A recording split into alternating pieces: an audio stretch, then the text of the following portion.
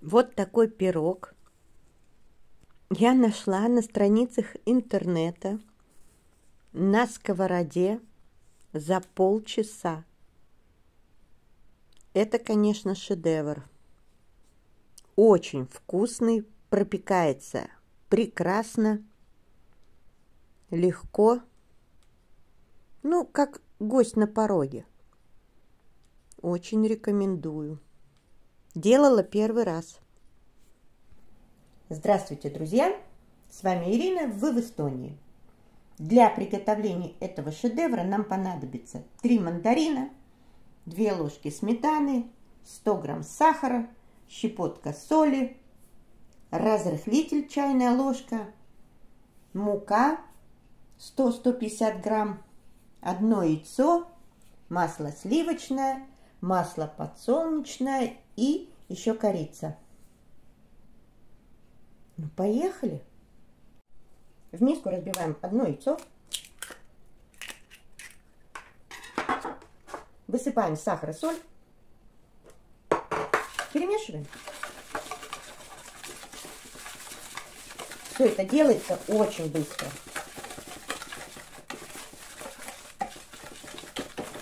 Добавляем 2 ложки сметаны.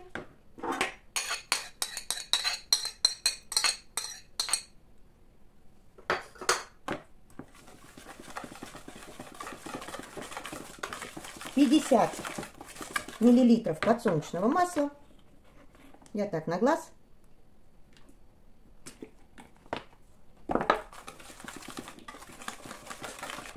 Этот пирог готовится на сковородке на сковороде. Очень быстро. Делаем его в живом времени.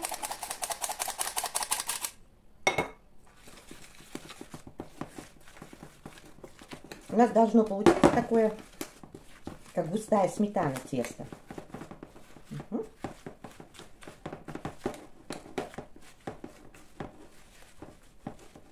Чайную ложку раз, разрыхлителя положим. И для теста это все. Что-то у меня густовато получилось. Я, наверное, добавлю сметаны. Я муки, наверное, бабахнула больше, чем надо. Сейчас достану. Добавила еще сметаны. Три мандарина мы почистили и разрезали вот так пополам. Вот так. Тесто у нас вот такое получилось. На сковороде растапливаем масло. Я кладу где-то две ложки вот таких сахара. И сейчас чуть-чуть добавим корицы. Можно много, кто как хочет.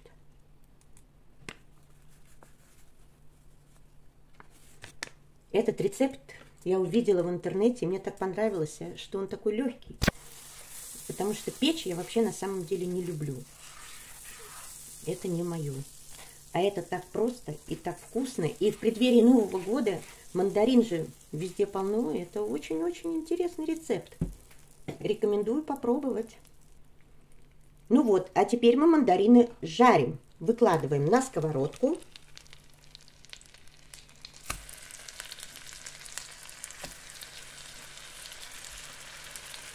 У меня такие костлявые мандарины попались.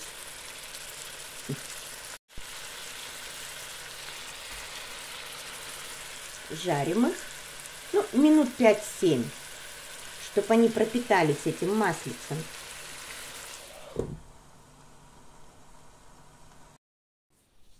Теперь выкладываем тесто.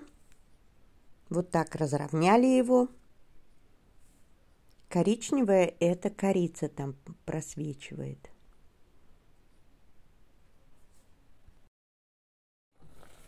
Вот такой он красивый. Получается, как яичница.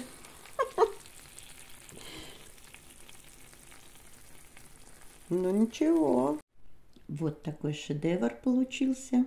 Видите, сахар немножко у меня тут пригорел. Ну ничего, жженый сахар очень полезно. В общем, полчаса времени И у вас шедевр на тарелке. Мне очень нравится. До новых встреч!